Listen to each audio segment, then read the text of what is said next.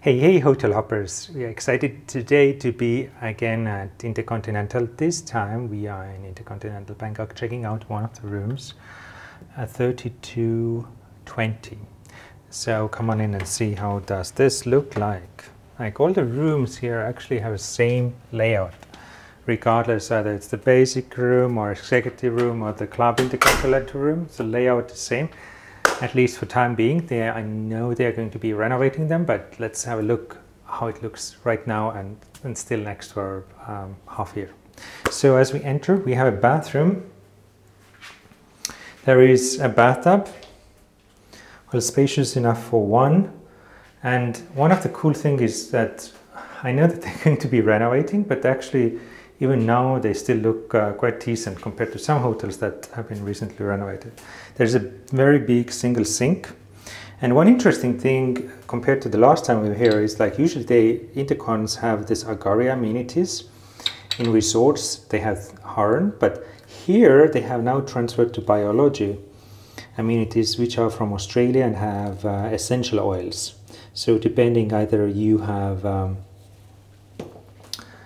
body wash or something. Uh, for example, here at the shower, you have ring for a shower and uh, things. So they also have like the same amenities and, and they have different. So for example, what is this? Body wash. This is uh, rosemary, grapefruit and lemongrass. Uh, but for example, conditioner has grapefruit, lavender and ginger. And uh, shampoo has the same grapefruit, lavender, ginger. So a bit different depending what you want to wash. Toilet. Uh, if you have diarrhea, there are express way of two toilet papers in addition to the butcher. Um, here at the closets, we have the usual white robes and uh, and and slippers Hmm, nice and fluffy. Some hotels have downgraded their slippers during the COVID-19. They haven't done it. That's nice. Uh, here we have safe and ironing equipment.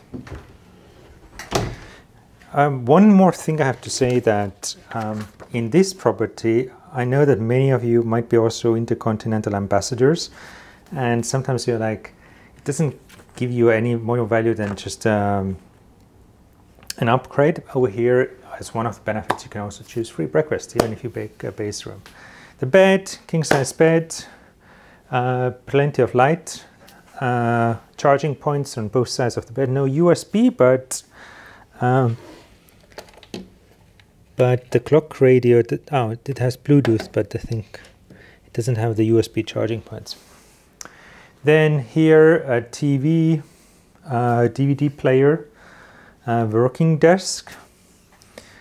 Um, that's actually kind of big and nice. It's kind of coffee. Probably you could also drink the take the chair to the other side, so you would have the big view. It's a bit cloudy today, but otherwise, on 32nd floor, it's very nice view over here. The cool thing, you need to make a video calls, let's say. Ta-da!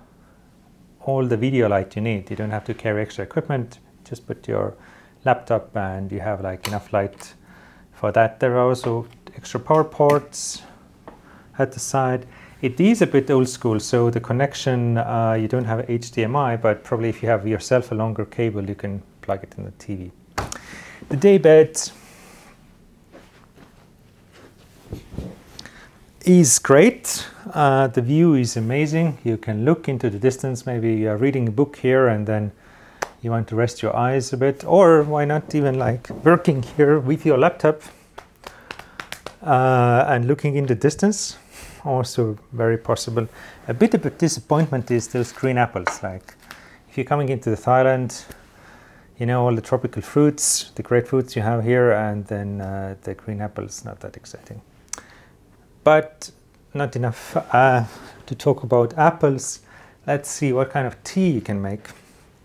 So here, I think they used to have espresso machine. I was quite sure about that, but it seems like that's not the case now anymore. But you still have a decent uh, TWG tea Imperial Oolong and um, Grand Jasmine. And the coffee thing is is limited to. Um, I think is this cheaper even than Nes Nescafe? I'm not sure. That's a bit disappointing. The mini bar is empty for these days, and yeah, this is just an empty thing. But in any case, this is the review here at uh, Intercontinental Bangkok in one of the rooms. Um, all three room categories are the same from the layout for time being. Either you book the the usual deluxe room, executive room, or the club intercontinental room. That just the difference is maybe the floor. The layout is the same, and what benefits do you have? So um, that's about this. But they will be still using these rooms. They are actually, uh, even though they will be renovated, I think next April. They said at the front desk, they still are very nice, and, and still you can use them. But that's a wrap. If you like this episode, uh, click on the like button. If you are not subscribed yet to our channel, hit the subscribe button. And the cool thing is that you would be first one to be notified of all our next reviews in Bangkok and beyond. And if you have any questions uh, regarding this particular Intercontinental Bangkok, put it in the comments below so we can reply you other aspects of the experience uh, as well. Thank you for watching this time and see you soon again in a new property.